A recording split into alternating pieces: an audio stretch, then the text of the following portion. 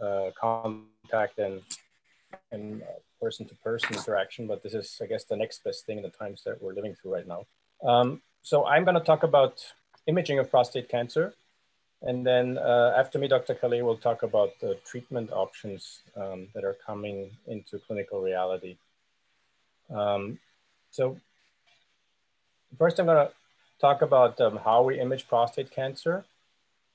And then um, we'll briefly discuss how imaging helps, that is in the staging of prostate cancer, um, selecting patients for radioligand therapy, which Dr. Calais will be talking about, and then checking the effectiveness of whatever treatment is being um, chosen for the treatment of the prostate cancer.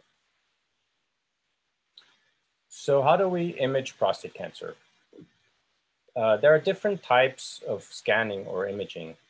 Um, we have what we call anatomical imaging, and that shows structures. The most important um, uh, modalities for this are CAT scanning or CT, MRI, which works with uh, magnetic fields, and then ultrasound, which works with sound waves. We in nuclear medicine use what is called molecular imaging, which really gives us molecular information about the cancer. And the modalities that do this are SPECT, which stands for single photon emission computed tomography, and PET, which stands for positron emission tomography. And then um, to combine anatomical imaging and molecular imaging, we have what we call fused imaging, where we combine SPECT with CT or PET with CT. With these combined modalities, we can look at structure and molecular information at the same time. So back to anatomic imaging, um, these anatomical imaging modalities use X-rays, magnetic fields, ultrasound, and as I said, they image structure. In the case of X-rays or CAT scans, you have a machine that produces X-rays. They're sent through the body, and then the X-rays get changed by traveling through the body, and that information can be used to create an image. So this is what a CAT scan looks like.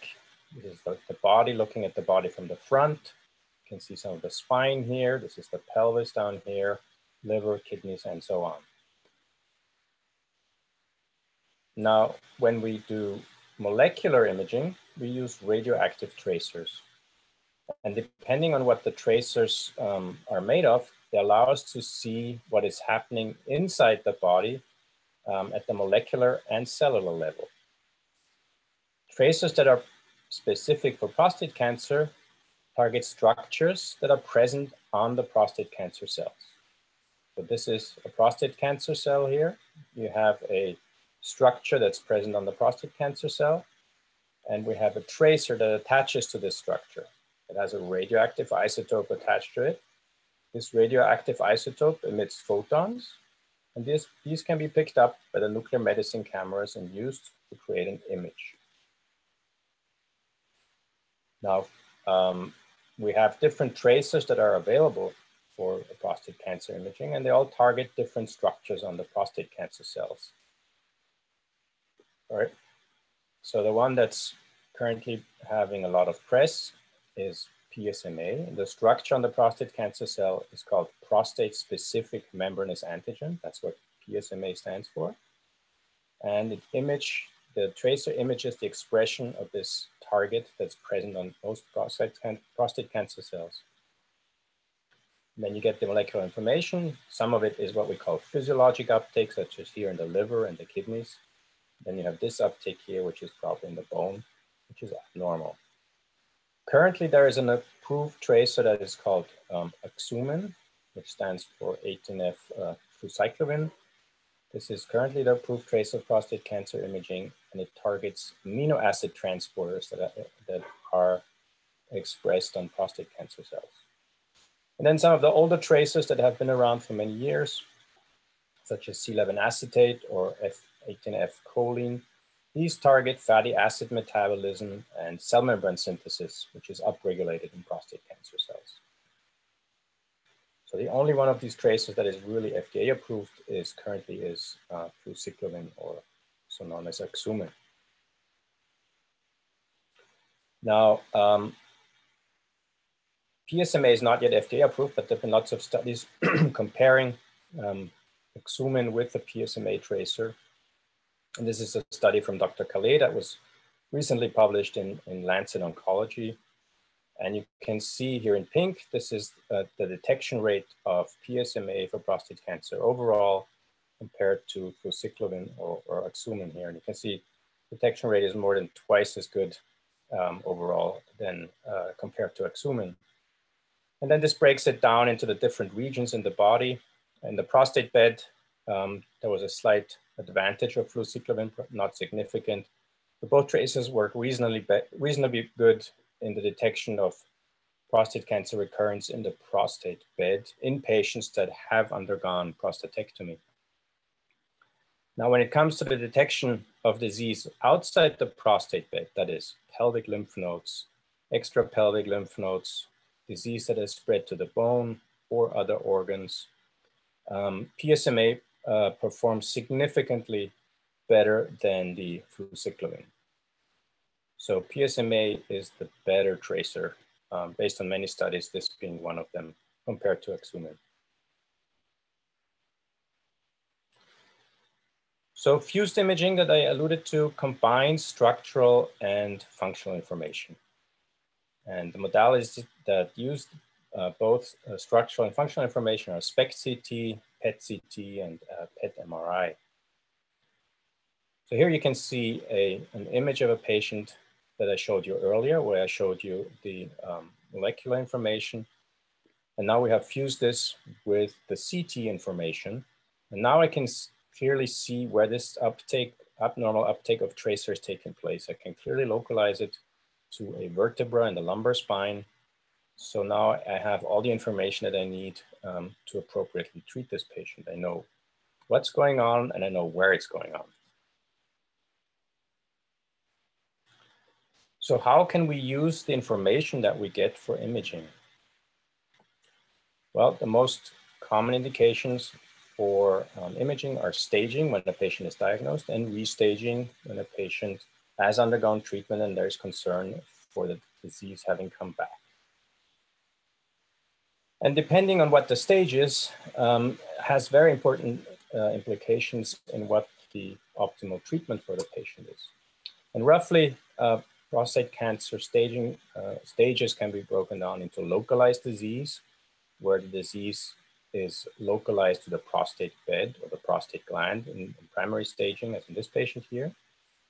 There is something that is called oligometastatic. Uh, oligo is a Greek word and it means few. It's usually considered for patients that have five or fewer uh, metastatic lesions in the body. And then there is metastatic disease, as in this patient here, where you can see widely spread um, abnormalities throughout the, throughout the body. So all of these uh, different stages usually offer different treatment options. In metastatic disease, you have to use systemic treatment, treatment that is works throughout the body. In oligometastatic disease, you can target the individual lesions either with surgery or more commonly with radiation treatment that is focused on these lesions. And in localized disease, if it's localized to the prostate, the treatment of choice usually is um, either surgery or radiation treatment to the prostate. And um, just to look at how well uh, gallium PSMA performs in the management of prostate cancer, this was a study that we did at UCLA where we looked at 161 patients um, with a PSMA PET-CT scan. And referring physicians had to complete a questionnaire before the scan and after the scan. And the questionnaire had questions about how the patients would be managed based on the information that was available before the scan and information that was available after the scan. And we found that in more than two thirds of patients, um, the management plans were changed based on the information that the PET-CT, PSMA PET-CT provided. So that just highlights the importance of the information that you receive from the scan, appropriate staging, will dictate subsequent treatment. And the better the staging, the better you can tailor the treatment. Now, imaging can also help us select patients for radioligand therapy. Again, Dr. Calais will talk about this in a, in a couple of minutes. So just to recall, when we do imaging, we have a tracer that targets a structure that's present on the prostate cancer cells. The tracer binds to that structure and it has a radioactive isotope attached to it that allows us to take a picture. When we do radioligand therapy, we target that same structure that's present on the prostate cancer cell, but we use a different radioactive isotope that emits electrons um, and locally destroys um, the tumor cells. So when we take a picture with a scan, we want to have information of how much of that structure that we can use for treatment is expressed on the prostate cancer cells. So if we have a lot of PSMA expressed on the prostate cancer cells, we'll see a lot of uptake. So these patients would be good candidates for the radioligand uh, treatment. Sometimes cancers express fewer of these targets on the, on the cell surface. Then you'll see less uptake. Depending on what the clinical scenario is, we have to say these patients are not candidates. Sometimes they are candidates. And then some cancers express almost none of these receptors. You'll see no uptake on the scan. Obviously, these patients are not candidates for the treatment. Now, anytime we do any kind of treatment, we want to see whether the treatment is effective. So when we treat, um, we can have different outcomes. We treat the cancer, this is the cancer, our a most desirable outcome, of course, is that the cancer completely disappears. And also a desirable outcome is for the cancer to get smaller. In some cases, all that we achieve is to keep the cancer from growing any further.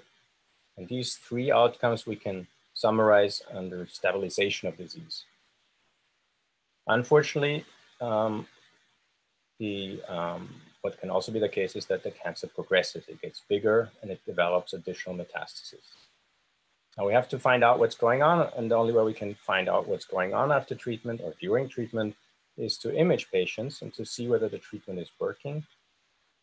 Um, in which case, if you imagine this is the cancer cell and the size of the cancer cell or the cancer, I should say, not a single cell, and the color um, is the expression of the target that we use to assess the molecular changes.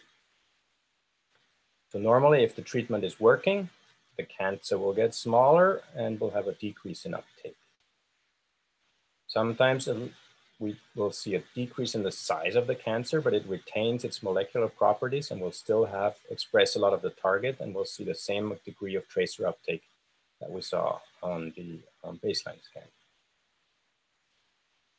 If we all we achieve is disease stabilization, the cancer will not get smaller, but will prevent it from getting larger and it usually expresses the same degree of, of, of tracer uptake, meaning that the expression of the target is stable. Sometimes the treatment is not working, the cancer will get bigger. It may still retain the expression um, of the um, target structure, but sometimes what can happen when it gets bigger, it can also lose this um, structure that it was expressing that we were able to pick up on the baseline imaging. These are usually cancers that de-differentiate. De-differentiation usually means they become more aggressive. And more aggressive and de-differentiated usually means a loss of the target structure that was initially present.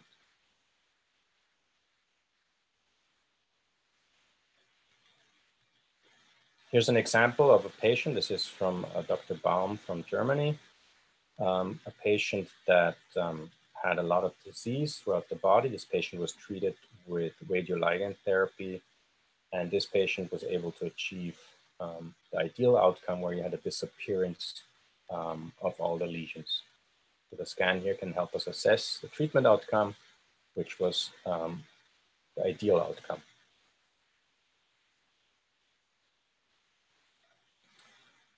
So in summary, um, talking about PSMA, the tracer binds to the PSMA, the prostate-specific membranous antigen that's present on prostate cancer cells. I should say on most, more than 95% of prostate cancers. Why do we do imaging? We do imaging to stage the disease initially when patients are diagnosed. And the staging is usually done in um, higher risk prostate cancer. It's low risk prostate cancer, then patients usually don't, uh, the need for staging is less. And then restaging is performed um, in patients that had initial treatment and they have evidence of recurrence of the disease, their PSA goes up, and we want to find out what's going on. And then imaging is also used to find suitable candidates for RLT, although this is, as I said before, not yet FDA approved. So imaging is done at diagnosis, initial staging, and then restaging after treatment. Now, last year, um, we didn't have um, much to tell you about when this tracer that is better than the currently approved Axumin would receive FDA approval. In the meantime, um, thanks to Dr. Calais' outstanding work um, and multiple uh, imaging protocols and studies that we have going at UCLA, we've imaged about 3,000 patients. We know that this tracer works, it works very well. Um, we have submitted to the FDA for approval of this tracer. Unfortunately, the COVID crisis has delayed everything, um, but we are led to expect that there will be approval in the near future, although near future or soon is a very relative term. Um, we are hoping by the end of the year, but we don't know, to be honest.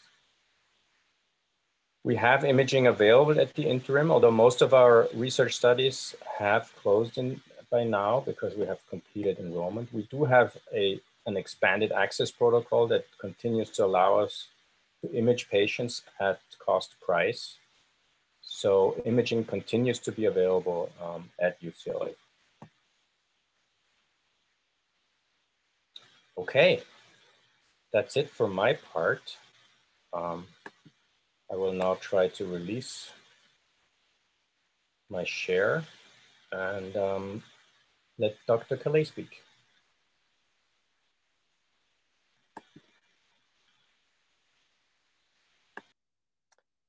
Great, let me try my turn.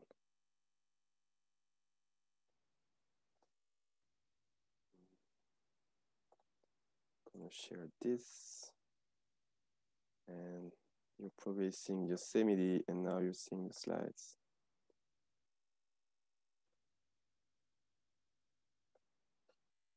All right. Can you hear me well? That's good. All good, okay. Yes, we can hear you. Very good. And this, you can see the pointer probably as well. So thanks for inviting uh, me and us again. It's a pleasure to share our experience with PSMA theranostics for prostate cancer to the community. And uh, I'm, I'm very pleased to, to give these presentations to another audience than, um, than usually other doctors. It's good to talk to patients. So it will be difficult to not overlap too much with what just Martin said. It was a very nice presentation. And um, there will maybe be some redundancy, but I think repeating is can be always good. So first, I want to redefine what is theranostic. Theranostic is the uh, the term that we use for combining a therapeutic agent or concept with a diagnostic agent or molecule. And this turns out to be theranostic. The overall concept is individualized medicine. Among a population of patients, you would do a targeted imaging that would select patients that have the target for a specific therapy. And if patients are positive for a target, then they are more likely to respond positively to the treatment and they can get this targeted therapy. So you see the target, you treat the target. That is what is theranostic. And that's perfect for nuclear medicine because what is nuclear medicine? Nuclear medicine, as Martin just explained very well, is the medical use of radioactive drug. You inject into the patient, you know the target that is uh, seeking for. And if you attach a radionuclide to it, then with the radiation that are emitted, you can use this radiation on the target to do either targeted imaging with PET-CT or targeted radiotherapy or molecular radiotherapy, which is the same than radioligand therapy or radionuclide therapy. So as Martin just nicely said and pointed out, PSMA PET is now the most current sensitive prostate cancer imaging modality that we have. It is, it has been shown to be superior to conventional imaging, which is CT and bone scan, superior to choline PET, and now superior to fluciclovine PET, or also known as Axumin. So with a more sensitive imaging tool, we see the disease earlier and better. So we can do better targeted therapy, and such as focal radiation therapy in patients with oligometastatic disease. So what is oligometastatic disease? Oligometastatic disease, it, uh, it is a term or a concept that has been probably introduced in 1995 in this editorial. And these authors suggested that the number and site of metastasis may reflect the state of tumor development and possibly different tumor stage and even almost different disease. It's not the same to have 20 mets than only one or maybe three or five. And by defini defining uh, the oligometastatic disease, it can lead to uh, therapy that are uh, targeting these uh, few sites. And we can hope that this is the only visible part of the disease. So there is a theory that is called seed and soil, that metastases, when they occur, they can re-metastase again, not necessarily from the primary site. And it is, there is also another theory that oligometastatic disease may be the slow growing indolent disease uh, of comparing to another patient with more metastases.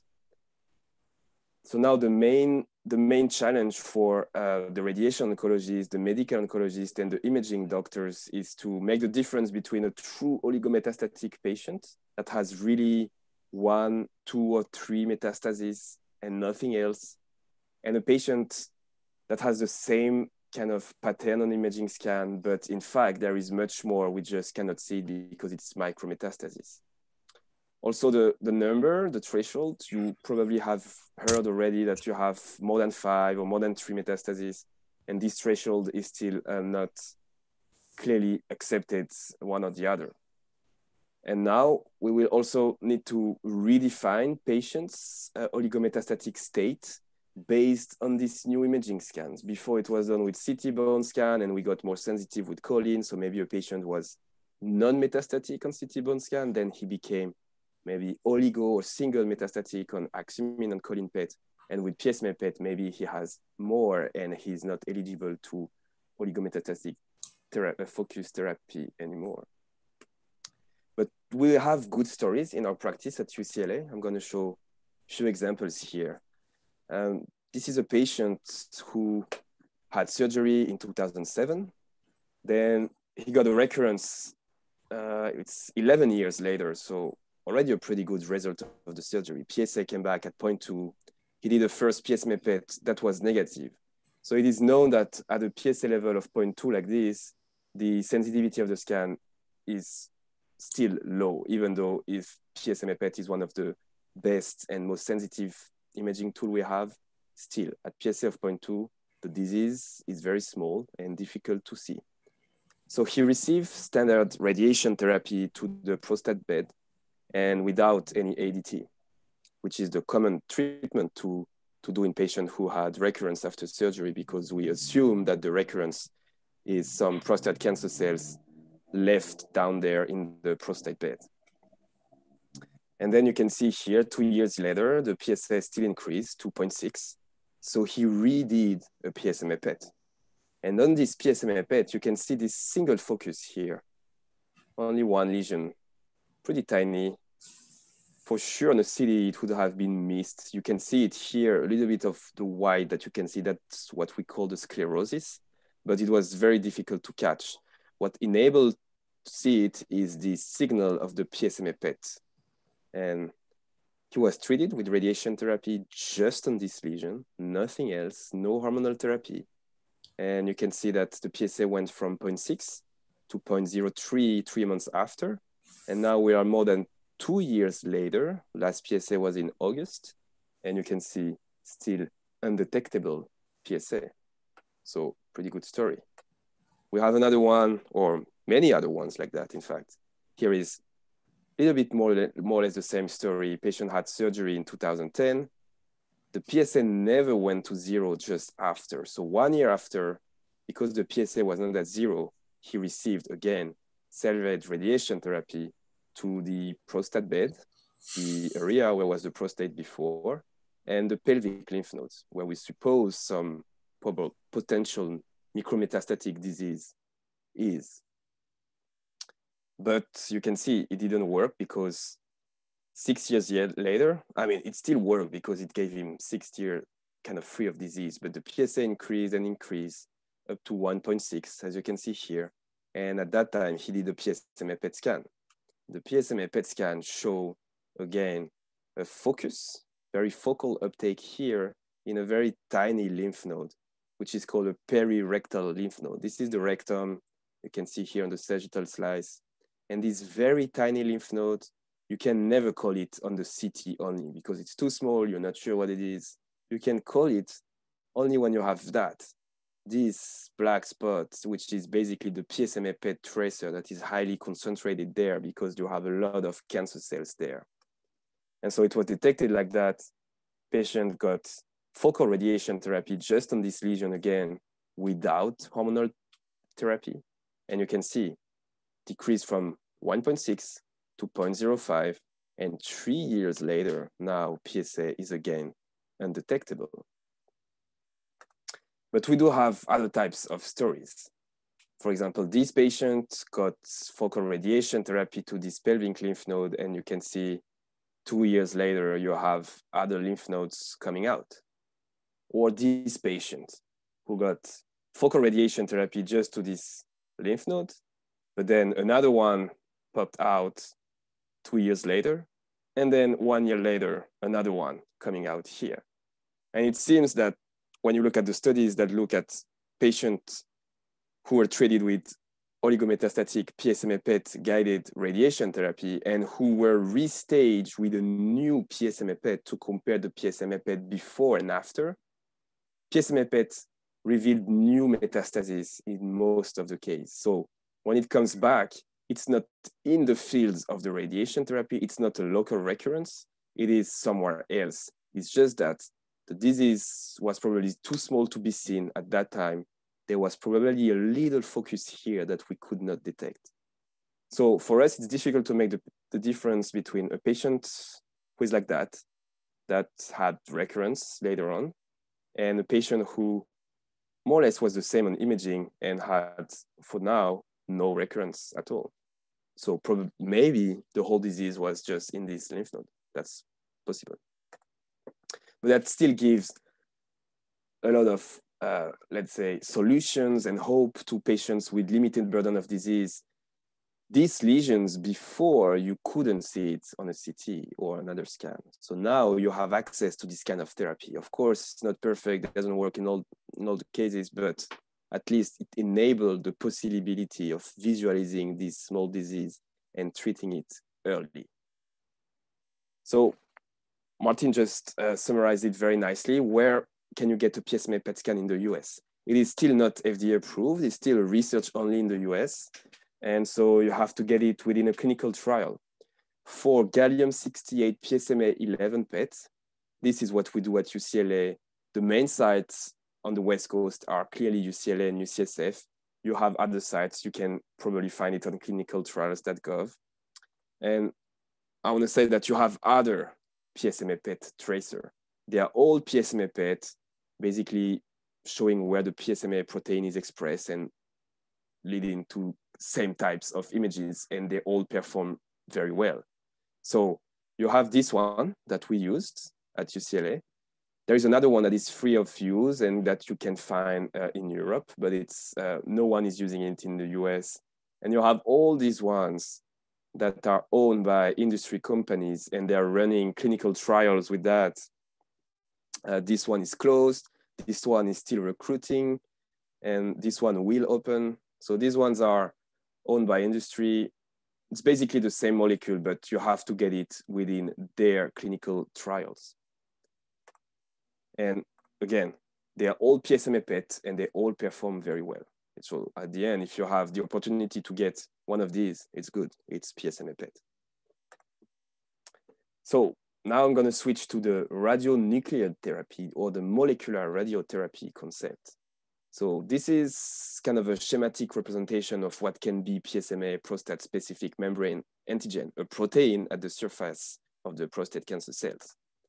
And with this, again, you have these molecules in which you can attach a radionuclide such as gallium, that's the one you use to do PET imaging, or lutetium, that's the one you do for treatment because the radiations that are emitted don't travel a lot. They don't go out of the body, they just uh, deliver radiation just around where they have been emitted. And so maybe they can kill some cells where they have been emitted. I think I'm going to show again this uh, video if it works. Let me see. Hmm. See old slide. Doesn't work. Okay. So there were few people who had the chance to to see it last time, one year ago, two years ago. Uh, I have a technical issue. Um, I apologize for that. Hmm, let me see. All right. So where can you get this PSMA lutetium treatment? So far, it is still not approved in the US. Um, same thing, it's still a research procedures.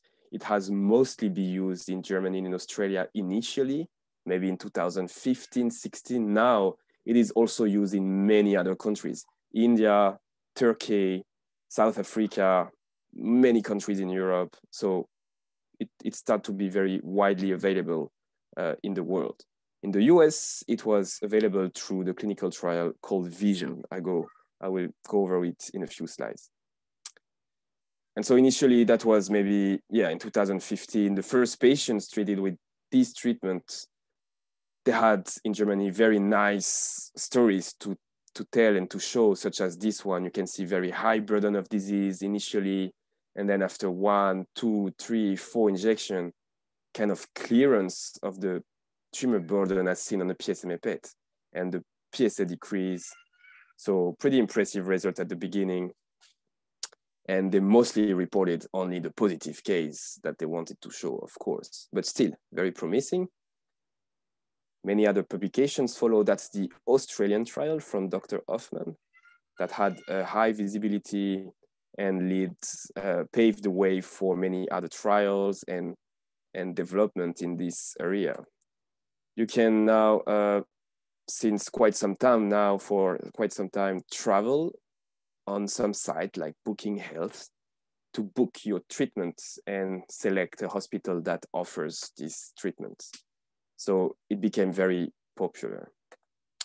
And in the US, so the, the drug, which is called lutetium PSMA 617, is owned by Endocyte, that is now owned by Novartis.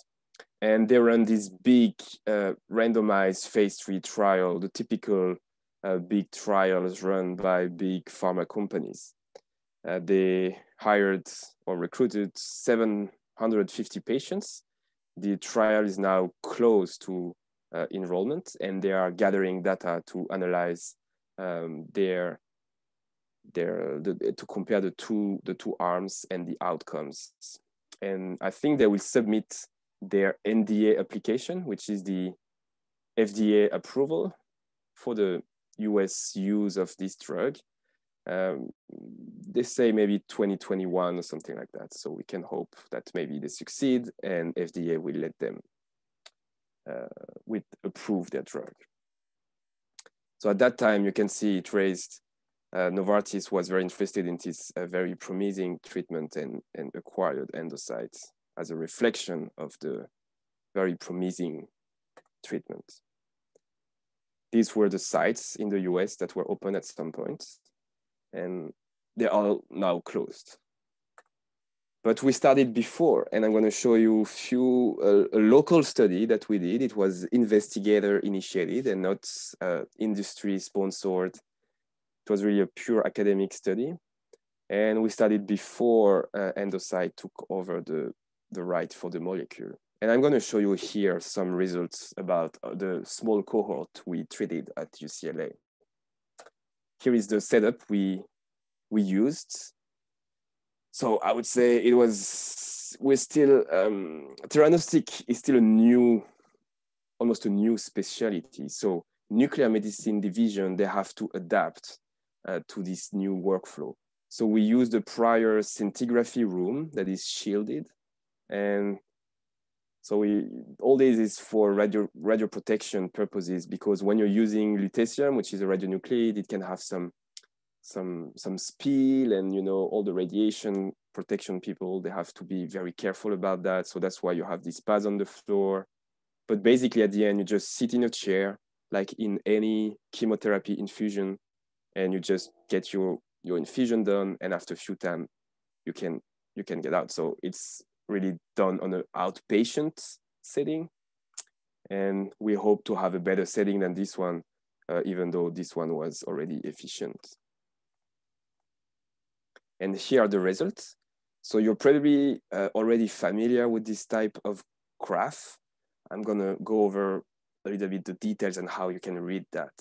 This is the baseline PSA level. Every bar that you see here is a PSA that's going up in one patient. And every bar that is going down is a PSA that is going down in one patient. So these are the PSA responders, the patient who had a PSA decreased. And here are the PSA non-responders, the patient who progressed till after receiving the therapy. And you can see, usually you say that you have a good response when compared to baseline, your PSA decreased by more than 50%. That's usually a way uh, researchers uh, find to decide if the PSA response is good or not. And in our 43 patients that we treated, you can see that 37% of them, so this would be these patients in comparison to the rest of the cohort.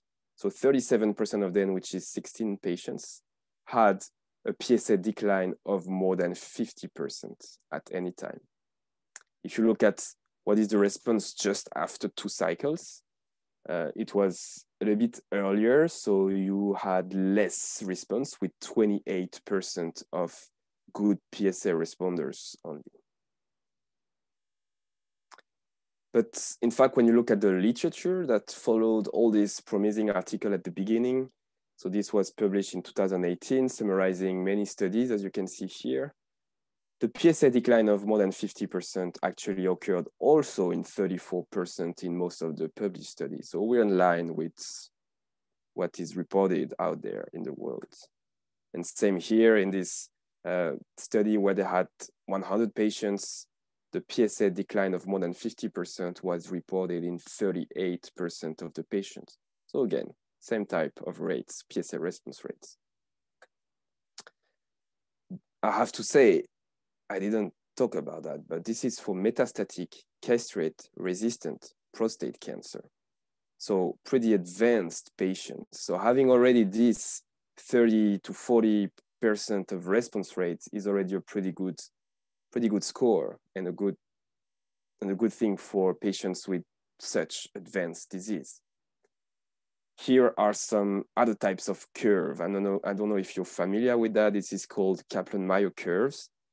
Uh, this is the time here that you have on the x-axis. And this is uh, when the events occur.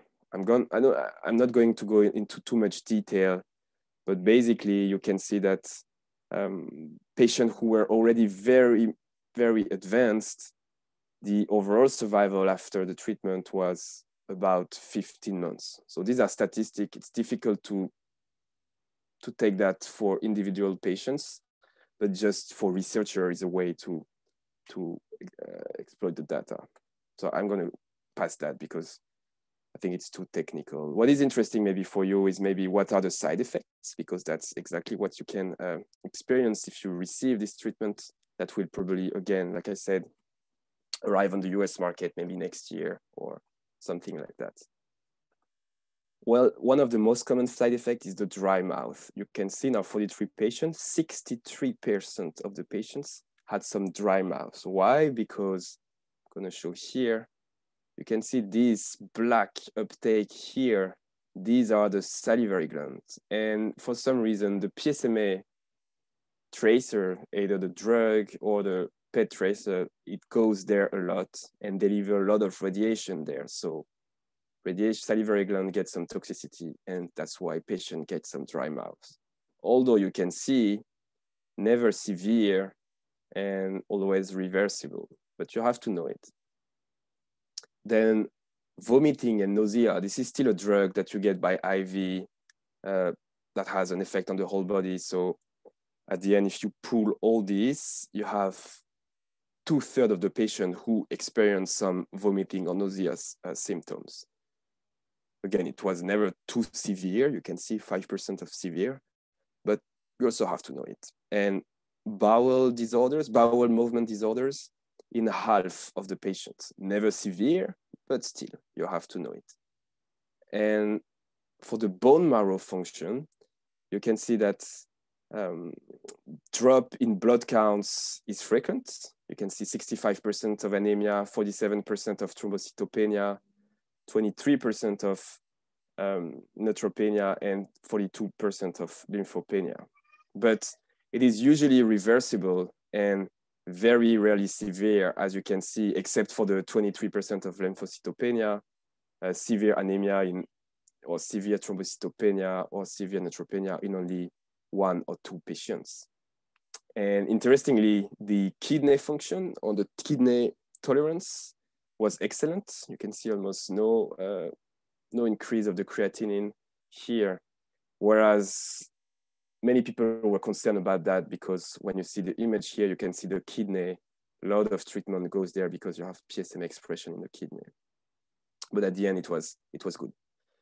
So, but if you compare the toxicity profile to chemotherapy, then it's much more well tolerated at the end. It's much less toxic.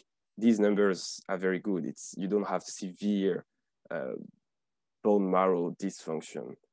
You have very few severe side effects at the end. Gonna show you some images, good stories and bad stories. This patient, you can see the dots. So there are too many here to be targeted with focal radiation therapy by external beam radiation therapy. So PSMA radionuclide is a good option. You inject the drug and it will go basically everywhere you see black dots and deliver radiation therapy there. And cancer is sensitive to radiation therapy. And you can see disappearance of the black dots you were seeking for. That's a good, a good example. PSA dropped and the lesion disappear. And now you have other types of patient. Maybe you come too late. Maybe the disease has a too aggressive behavior already, and then you give the treatment, and after three cycles, still it doesn't work, and the patient is progressing. That's another example of a good response. Here we just segmented in red uh, the, the bone metastasis lesion, and you can see that decreased a lot on the follow-up scan after three cycles of treatment. And you can see also a decrease in PSA from 26 to 16 and a decrease of the volume of this lesion. And again, here it's the inverse, a patient who progressed after three cycle, there are more lesions than on the baseline scan. And it is new, so we're still learning and we still have a lot of things to learn, but uh, little by little, we're gathering data and, and improving how to use this treatment. Here I show different types of PSA response. You have patients that uh, progress right away after one or two cycles. So here, clearly the drug is not effective.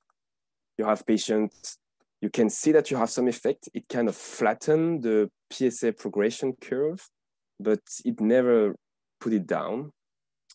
You have some patient that has initially a decrease and a response, but ultimately they, they progress. And you have some patient that either progress initially but respond very well or responded very well right away and a very low PSA here. So you have different types of patients. Now the aim for us doctors is to identify before these patients the one who are more likely to benefit from it. So this will be uh, our task. And I'm sure in the future, uh, we will be better at better selecting patients for uh, more individualized therapy. I show this, maybe this slide just here because the images are very impressive and it gives some uh, even more hope in what can coming in what can what treatment is coming in the in the future. Maybe four to five years from now i don't know. I, am not sure. But here instead of using lutetium you use actinium. So it is a diff it has different physical properties. Basically the radiation dose that you deliver with this radionuclide is much higher so you can see patient with very high burden of disease that didn't very respond well to lutetium PSMA at the beginning and finally responded well because uh, they were using a higher radiation dose emitter than lutetium. Here, the main uh, problem is the salivary gland toxicity. You can see the salivary gland here. You don't see it anymore because it was burned. So they don't have saliva anymore, which is a, also a major problem that doctor has to fix before uh, implementing this new treatment. I put these uh, pictures here. That's the current setup at UCLA. And we're working with uh, Martin and also our, our chief, Johannes Czernin, to get a new center dedicated to theranostics at UCLA. This may open maybe in two years from now. It is already in the plans with the architects, just to show that this, uh, is, it is an, um, an evolving field. This was my last slide, so I want to take the whole team, the whole department, especially Martin. I'm gonna switch to this slide. Martin is a very nice doctor and eminent professor, but he's also a very nice skier and the best uh, ski teammate you can have to go uh, in Sequoia Park. So I thank you very much for your attention.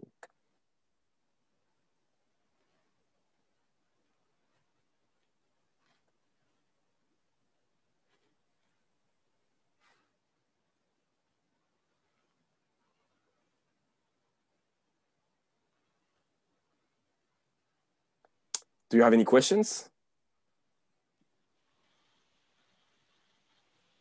Thank you, Jeremy. Excellent. You can hear me?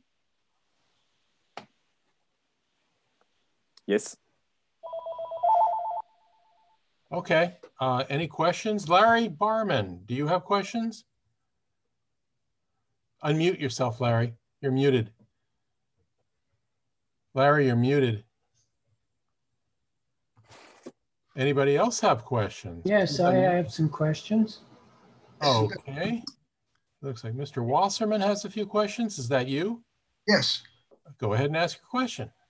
Uh, when it comes to the trials that have been performed, what, what age groups are we talking about that you are showing the patients? You're talking about the imaging trial or the treatment trial? Both. Both older than 18. Is there, is there an upper age limit, like for someone like myself, 86? There is no. not. There is a lower age limit, as just uh, Martin pointed out, which is 18 years old. You must be more than 18 to be enrolled in a clinical trial. But other than that, there is no other limit and no upper age limit. So we had some patients of 100 years old, I think. Oh, okay. Doctor, is uh, can I jump in now? Larry, go ahead. Yeah.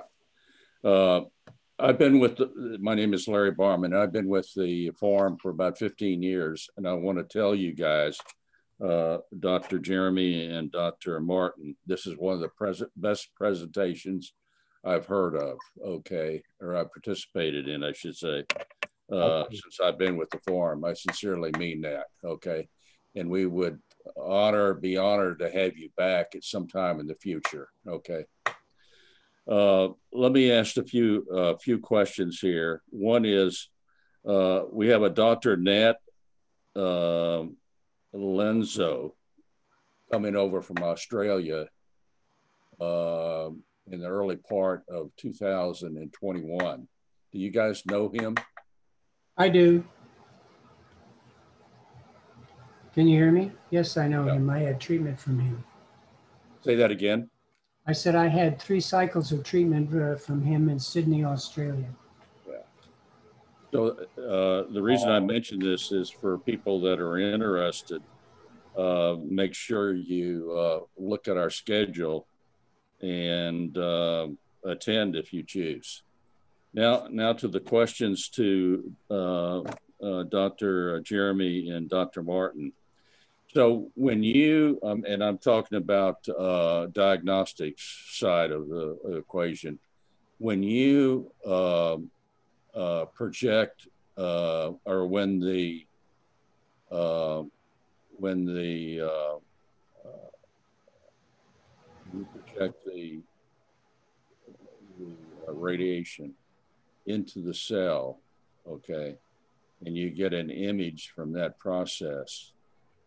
Uh, what's the can can you get can you can you detect one cell or does it have to be multiples cells to have the appropriate mass to be able to see the cancer. So um, no scan can pick up microscopic disease. That's just the nature of physics that doesn't allow us to, to see microscopic disease. But with PSMA, we're down to lymph nodes that we can pick, pick up with just a couple of millimeters size. So it's from all that's out there, it's pretty sensitive. But uh, down to let's say five millimeters, um, but that's probably the ultimate limitation of any kind of imaging. So between two and uh, two millimeters and five millimeters, is that what you're saying? No, if it's smaller than five millimeters, it's it's very rare that we'll see anything. Okay, more more than five millimeters. Or, okay. It's a combination. You have the size. Basically, when you what you look at with PETs is a global amount of the concentration of the tracer you injected. So the more you have cells that have this PSMA target, the more tracer you will have to be uh, you have there, and then the more easy it will be detected by the PET scanner. Now you have several way of having a lot of cells or tracer there. You can have either big lesion. If it's big, of course, you have a lot of cells, a lot of targets, and a lot of tracer that goes there. You can have a tiny lesion, but with a high density of cancer cell or a high density of PSMA expression. And that's also another way, even on the tiny lesions, sometimes you have lesion, it's, it's not uh, frequent, but it's not rare neither, uh, to have tiny lesion below five cent, uh, millimeters that have so much uh, density of PSMA that you can see it with uh, with PSMA PET. So it's a combination of size and, and of the density of the PSMA and the level of expression by the prostate cancer of the target. Thank you. I but understand. one cell, one cell is not possible. You cannot see one cell. Okay. This you need a microscope. For the answers. Yeah. Okay. Neil Emperor. Does anyone else have a question that they'd like to ask in person or submit through chat? Yes. Looks like Thomas, Yeah, I have a question. Where's chat? Can you hear me? I can hear you. Well, um, I, I, my question is about the PSMA scan. I understand that there, and you mentioned this, there are certain percentage of prostate that will not express PSMA. I have had the scan twice, and my PS, my uh, PS, PSA was under three, under one, and it didn't show up on the PSMA scan. Although there were some lesions that showed up when you did a combination CT, PET bone scan, or the carbon acetate scan, uh, not the PSMA scan. What I'm wondering is my PSMA now is around three. I'm in a clinical trial at Clinic City of Hope. Is it worth trying a PSMA scan again? Is it possible that with uh, greater PSA and larger tumors that the PSMA scan might work? Or might my cancer might just be among those that it won't express PSMA. So there is a correlation between the the level of PSA and this what we call the sensitivity ability of the scan to pick up disease. And you know, the higher the PSA, the more Right. likely you will see something. Now there are there are unfortunately cancers that don't express prostate cancers that don't express the target, but they're very very rare. Um, in terms of should you get another scan, uh, you know, you only should do a scan if it will have an impact on whatever treatment um, you're planning to get or if you're looking at different treatments. If you're already getting uh, your ARNA trial, you're getting treatment, um, it might not add much at this point to do a PSMA scan, even if it were. Well, I, I, guess what I'm trying to uh, understand is whether PSMA related treatments are uh, available or not.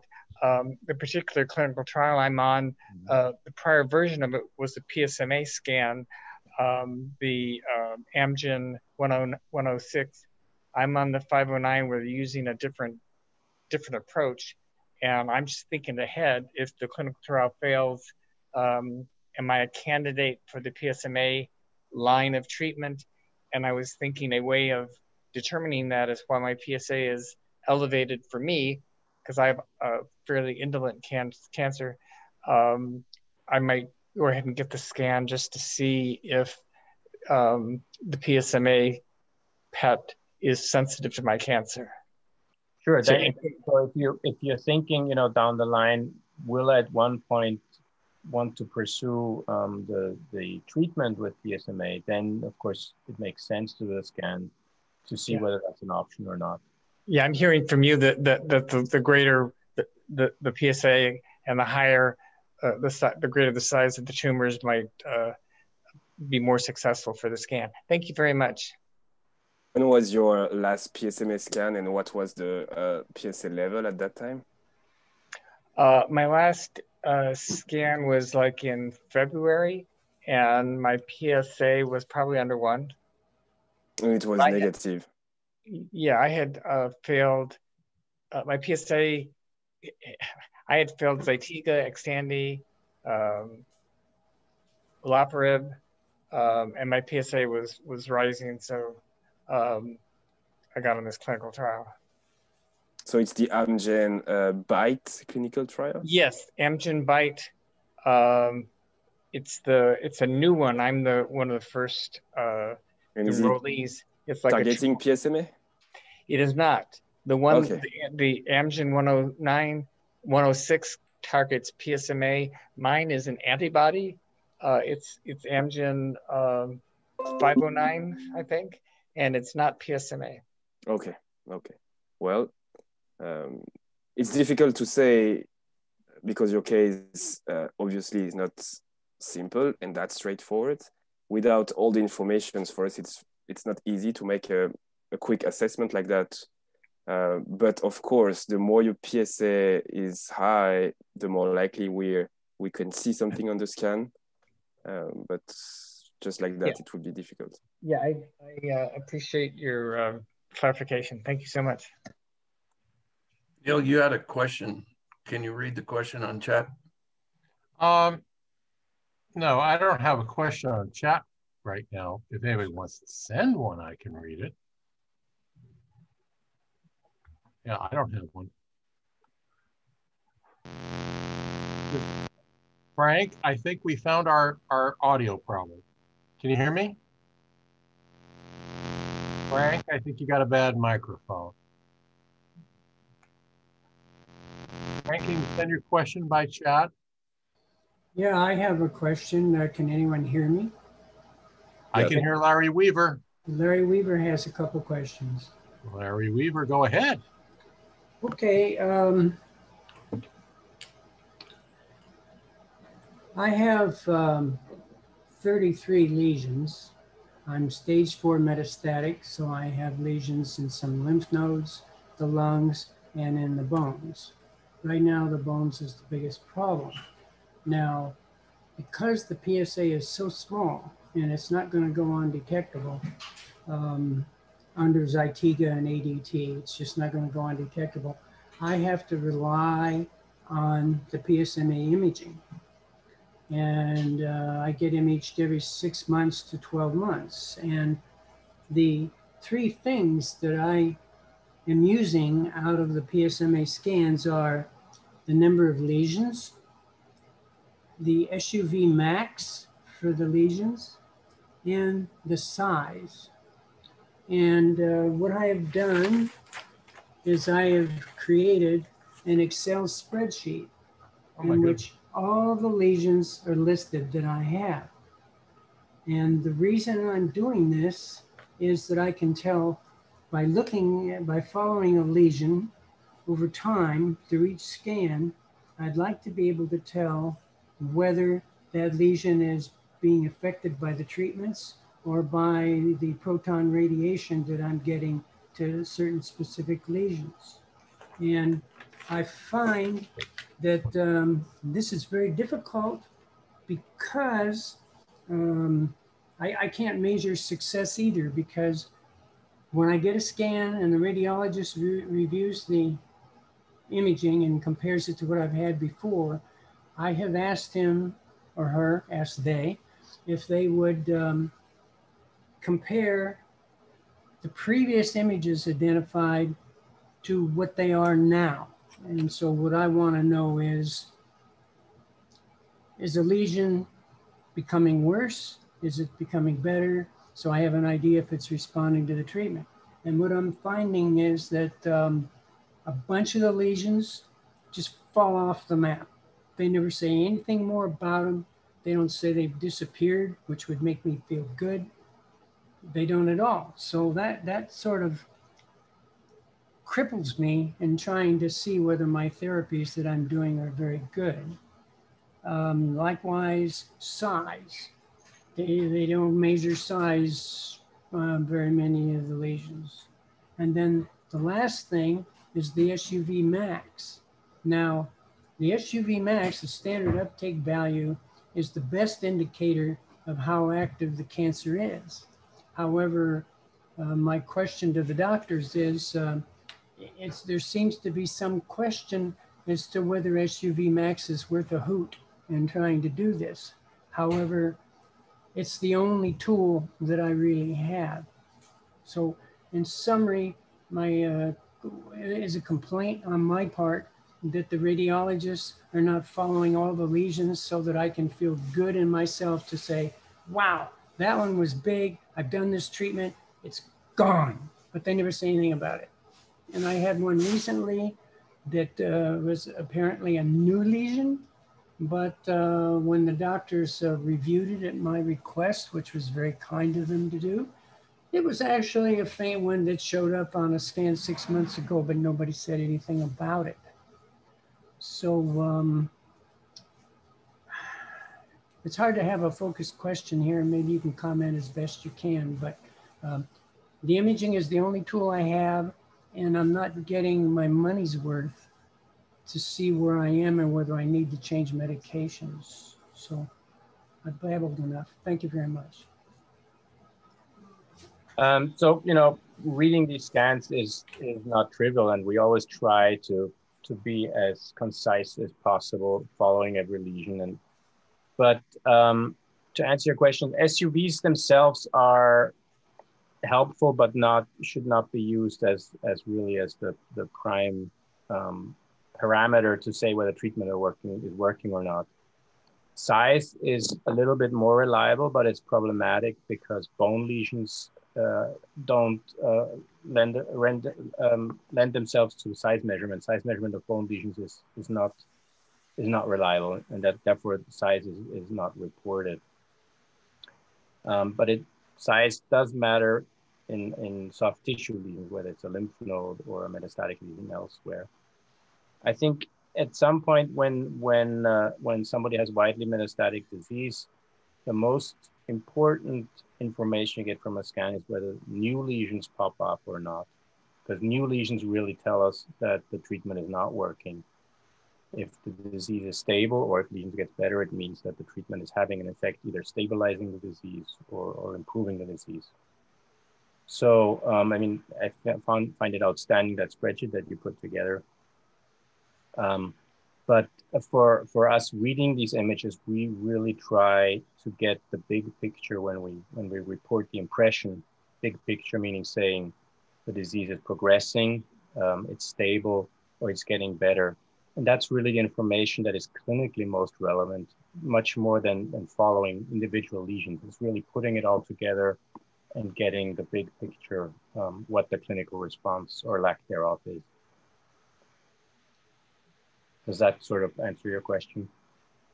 Well, I feel that uh, following the more aggressive lesions and the uh, new lesions um, is rather important because I'm able to, using the imaging, I can identify those lesions which are causing me pain.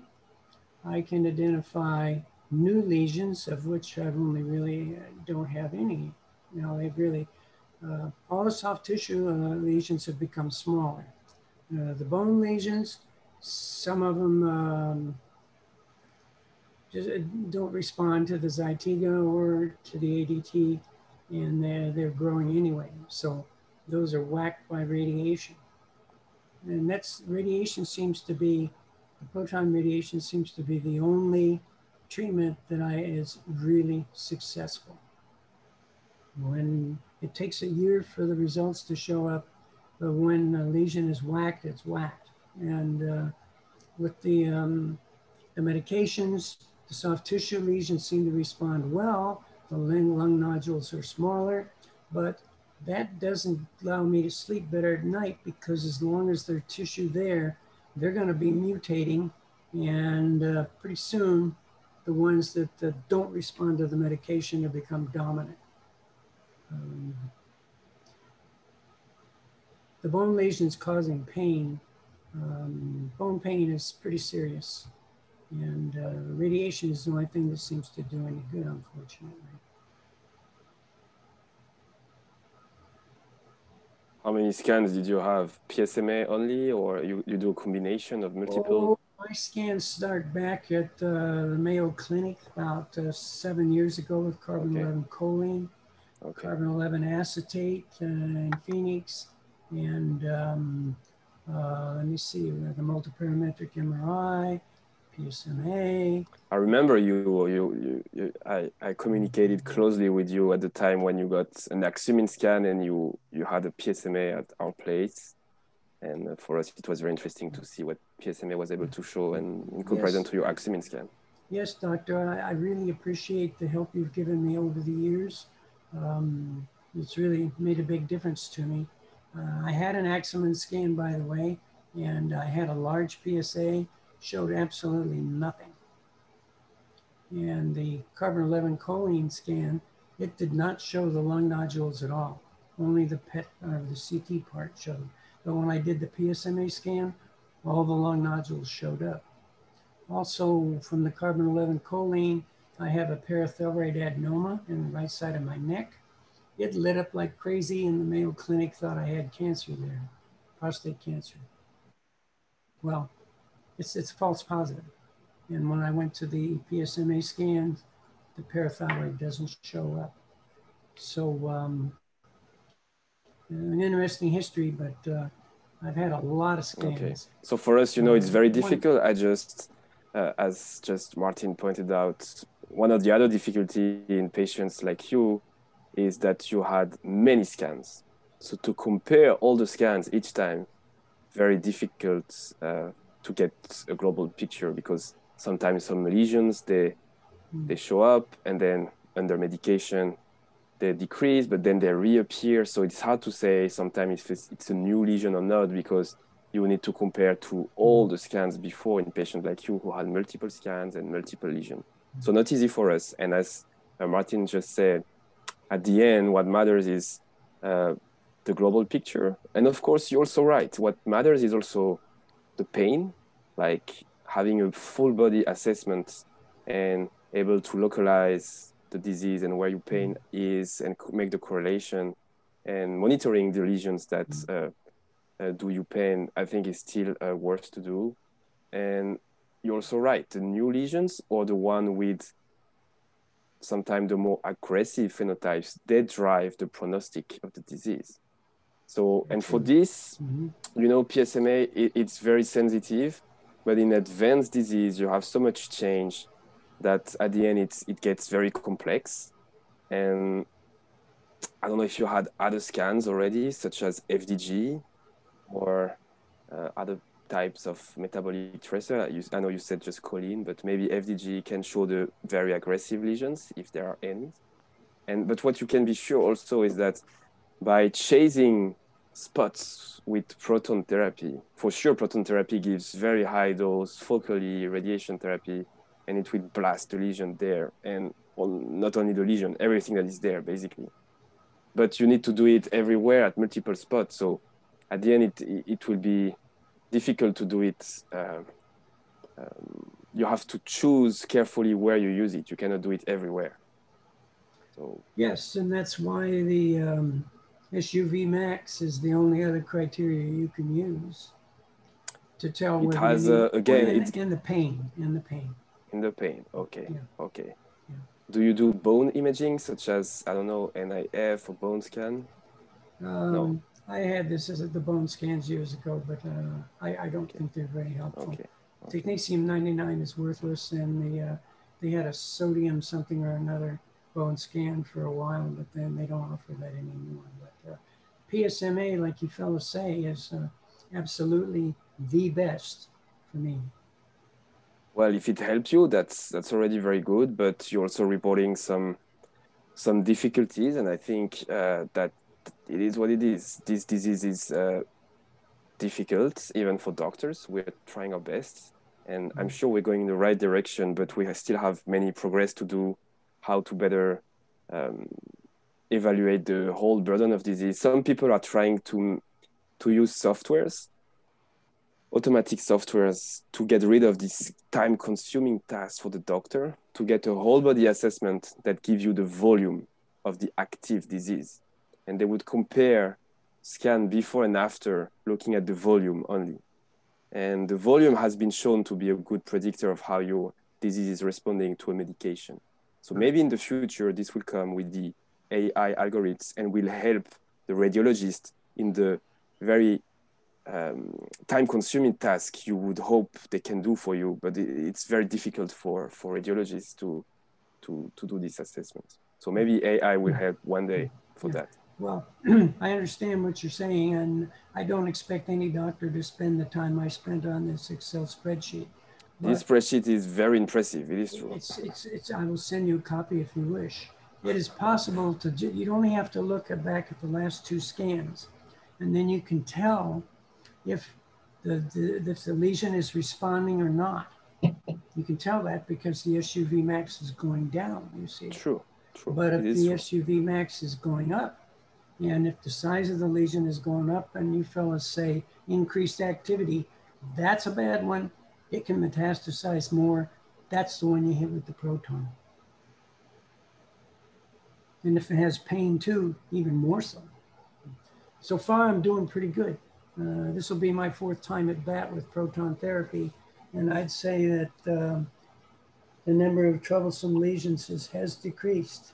how many psma pet did you have Mm, probably six, seven. all at ucla or different places Um, UCLA, UCSF, and uh, Mater Imaging in Sydney, Australia.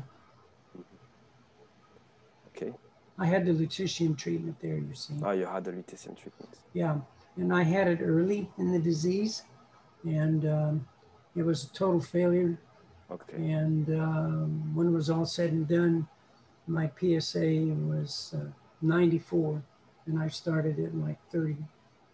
okay $44,000 counting travel and the treatments out of pocket. Yes as i But showed I tried. I tried. You tried, yeah. And as I showed, yeah. we, are, we we don't have a perfect uh, perfect treatment. We're still learning, and there are some good stories, very good responders, some not, and we still have to do a better job on how to identify earlier uh, earlier this. But at least you tried, I think, and and I think it helps you also to get all this uh, treatment knowledge, imaging knowledge. The fact that you're very active on your disease management uh, helps you a lot as well. I think. Yeah, thank you. Neil, do you see the question that I sent over? I see two questions here. Let me start with this one. Are false positives of bone mets on PSMA PET scans common? That's our first of two questions. I'm sorry. Can you repeat the question? I sure can. Are false positives of bone mets on PSMA PET scans common? Hmm. I would say Um, not, not common, Yeah. but there are situations where um, we either we can see uptake and there is no nothing that on the CT on the structural information that we get that would indicate um, a bone met. Sometimes this uptake can be very very low, and then it often poses a conundrum whether to call these positive or negative. Or um, there are also a number of benign conditions such as fractures, um, uh, enchondromas, and other things that can have uptake. Um, it's really up to the diligence and, and um, experience of the reader, the radiologist or nuclear medicine physician reading the scans to, to be able to identify whether it's something benign or something that's related to prostate cancer. But even the most experienced readers sometimes will have to hedge and will not be able to do it. definitely say this is um, cancer or something unrelated to cancer. But to answer your question, it is rare to have false positive if in a diligent and experienced reader. I can Okay. add on top of that that in with any test, medical test, especially in imaging, you will have the case you're sure the test is negative, the test you're sure the test is positive, and the case in which sometimes it's always in between and you have to make the call. Someone has to to to call it positive or negative, and this if a test is not good, this would be 80% of the case where it's a gray zone. If a test is good, it would be 5 to 10% only because the test is good, such as PSMA PET imaging, then you only limit these uncertain gray zone area lesions to very few cases. For bone, the tricky part is the rib. So in the rib, just by cuffing, just by a little hit, you have some bone trauma with or without fracture. And this can induce some inflammatory, inflammatory response and can show up some uptake a little bit on that. It is faint. It is usually without any CT lesion. And you cannot know very well because also prostate cancer metastases, they go to the ribs as well. But there was a study, and at the end, that's what I uh, that's what I apply in my practice there was a study that looked at, I don't know, 60 or 70 solitary rib lesion um, on a PSMA scan in patients without any treatment before. And they followed all these lesions because when it's tricky on imaging, the best information you can get is to have, for the radiologist, is to have a follow-up scan. It's the temporal information if it decrease, stable or increase, that's the best information to call a lesion positive or not. But that when you have one time point, of course, it's difficult. And so they follow these uh, 70 solitary rib lesions that were indeterminate on a PSMA PET. And at the end, there was only one which turn out to be cancer when it's solitary, isolated like that. So at the end, me, that's my personal call. And I, and that's what I always, uh, tell to at any presentation if you have one solitary lesion in a rib like that that is equivocal or you hesitate to to call it positive and the uptake is not very high it's faint and nothing else elsewhere have to give the benefit of the doubt that this is nothing and you cannot um, remove the patient from the um, curative treatment localized in the prostate uh, because the patient is probably not metastatic. You cannot remove him the right to have a curative treatment and switching already to a systemic therapy. So that's what I think. But if you have one faint equivocal rib lesion, but there are already many other distant metastases, then it doesn't matter a lot because the patient is already metastatic. What, what about uh, one singular uh, rib lesion that lights up rather dramatically? Dramatically, I mean, if it's dramatic, it's dramatic. You have to call it. But you have also have to correlate it to the history of the patient. If there was a trauma, if you see a clear uh, CT fracture, sometimes it can be high. What is dramatic? I don't know the SUV. I was just told that it lit up uh, very bright. So for sure, I would not rush if you have only one single lesion like that, rush is not good. The three option is to do nothing. The second option would do to, to do a follow-up scan, and usually in three to six months. That's usually something that can help. Or if the your treating physician is a bit uh, worried, he would treat, but I would uh, it's, it seems difficult. Again, without seeing really the images, it's difficult to make a final call like that.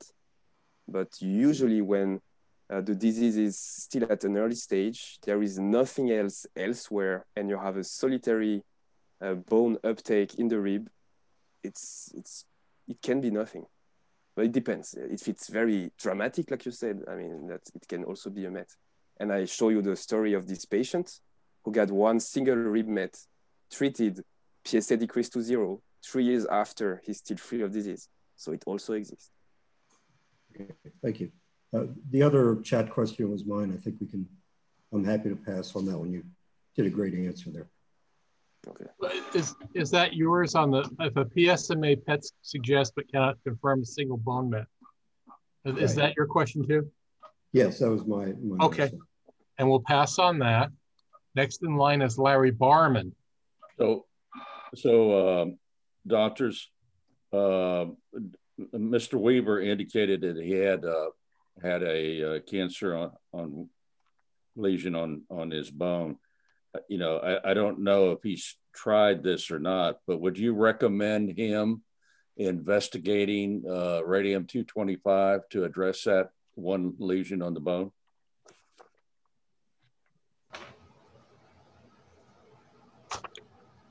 So the the alpha radium treatment is usually not done if, if patients have a single bone lesion. Single bone lesion is better treated with um, with targeted radiation. Um, the radium treatment is really for patients that have more widespread disease to the bones and have no documented um, what we call visceral metastases, metastatic lymph nodes um, or other organs. I can um, respond to his question if it's okay. Can you hear me? Yes. Yes. Okay. Um, I have 16 bone lesions. And um, I have, of course, definitely because using the whack-a-mole with proton therapy is slow going because I only get four or five treated at a time. Most of those are the ones that are causing me pain. So I've inquired into the uh, Xofigo and um, the FDA approval of Xofigo was done on patients who did not have any or only stable soft tissue prostate cancer tumors. So since I have nodules in the lungs and I have some lymph nodes, um, and they don't produce PSA because my PSA is 1.30, um, I can't qualify to take um, Xofigo. However, if the imaging shows no change, but then as the good doctor has said, that's a pretty tough call. Are you going to say, well, you've got no change, you know, because these lesions are still there. They shrunk some, but, you know, how, how are you really going to say I have um, 10 soft tissue lesions? How are you really going to say that they're stable, they're not growing, and therefore I can uh, get um, Xofigo, you see? So and I'd love to have it, but uh, I'm not about to go overseas and spend money like I did before to get it in, say, Australia or Germany. You know, it's just too much.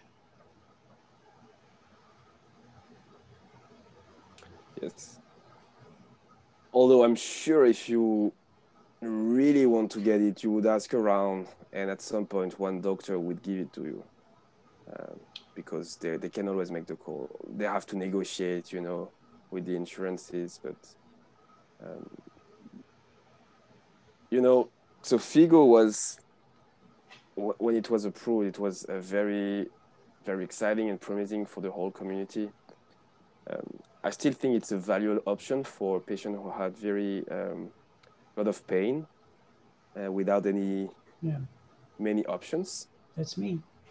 Um, but I wouldn't expect too much neither on Xofigo. But it, it can be worse to try. But it, it has some some side effects on the bone marrow counts. You know, you have some treatment that go on the bone lesions that will deliver radiation therapy there locally, which is good, kill some cancer metastasis there, but also induce a little bit of bone marrow toxicity on the surrounding uh, marrow around.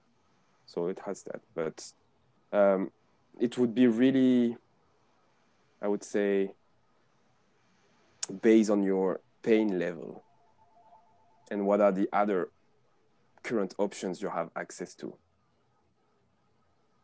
And at the end, you would make your, your, your choice to, to get it. I have a, another question. Um, may I? Sure. Okay. In my latest round of uh, imaging, um, I had a PET CT at UCLA, and then I went to UC San Francisco because San Francisco, it's 800 bucks and it's 2,900 at UCLA. So I went to UCLA and um, I was told by one of the other doctors, none of you folks, that um, a PET MRI would be better for me because I wouldn't get this, the radiation. Well, I did that.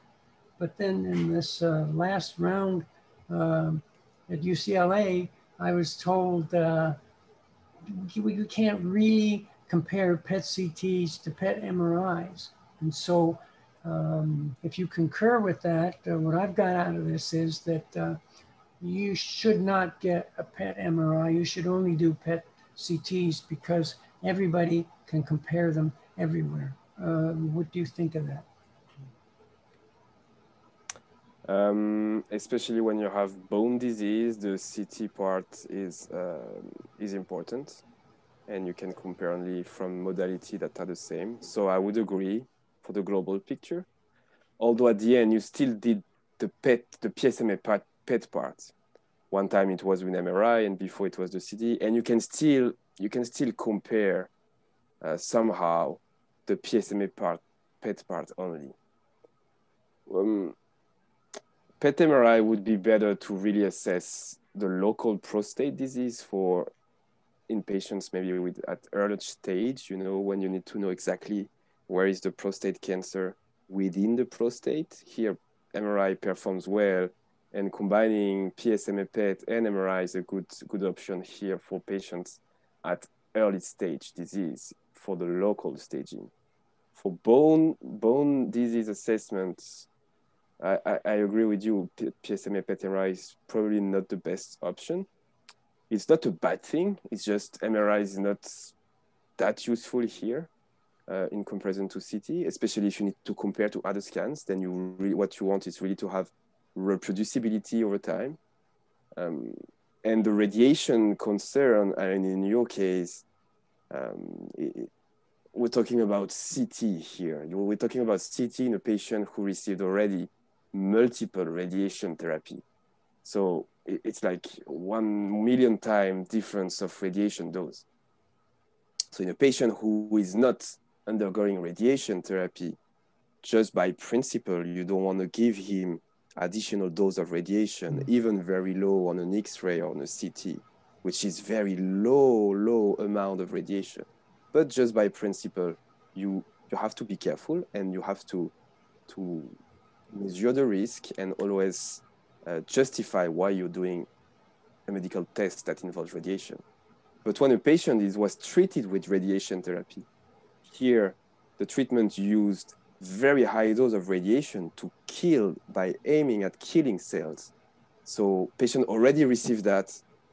And again, to give some order of magnitude, it's um, 1 million, almost one, I would say 10 to fifth or 10 to six time higher than a CT. So doing one, two or three or four former CT, it doesn't matter in a patient who already had radiation therapy. He already was exposed to much higher dose of radiation. Well, I'm 79 years old, so, you know, if I make it to 85 or 90, uh, even if I didn't have cancer, that would be miraculous. So, um, whatever it takes radiation wise, I'm, I'm okay about it. Well, yeah, the CT clearly is like a, it, it, it's not it's nothing. We're not talking about a, a young child with very sensitive uh, tissue to radiation and who is two years old. It's really another type of, uh, or young woman with breast, and it's, it's another thing. So I wouldn't be concerned in a prostate cancer patient population about uh, the CT dose because patients are in an older category of age, uh, patients are male, so their radiation uh, sensitivity in their tissue is not so high. And, and it's not the same time that they have to live than a, a 15 years old uh, child. And furthermore, many of the patients already or will receive radiation therapy, which is 10 to fifth or 10 to sixth time higher. Hmm. Okay. Um, are there any other questions that uh, we can answer tonight? I know we're a little bit over time here. I have one more question, but uh, as long as, I mean, it's up to you, you know. I'm easy. Doctors, are, are you willing to get one more question in? Okay, one last. One last question. Okay, okay. Here's the last question. Um, it's my understanding that the lutetium 177 PSMA 617 treatment doesn't really work all that well on bones as compared to soft tissue because the structure of the bone shields the other cancer cells from the radiation. They're the ones that absorb the, uh, the lutetium. Whereas in the soft tissue, they're shooting radiation all directions and all their buddies get zapped. But in the bones, they don't. So I was under the impression that the uh, treatment just doesn't work all that well for bone lesions. So would you, have I been misinformed? What, what do you think about no, that? I think I think it's it's probably right. If you have to rank the sensitivity of the lesions uh, based on their origin or the where they where they are, lymph nodes are the lesion that respond the best, and I think that's what you observe in your case as well, even with uh, Zytiga or other medication. Then it would be the bones bones still in some patients they respond well, but uh, you have interpatient variation. Some patients would respond well and some other not. And then the one that are the more tricky to treat are the liver lesion because here the liver, it has a specific environment in which uh, mutations occur usually with dedifferentiation and appearance of more aggressive phenotype. Uh, so that would be the rank of order so I don't say it doesn't work in bone lesion. We have good stories also with lutetium PSMA, with bone lesion reduction.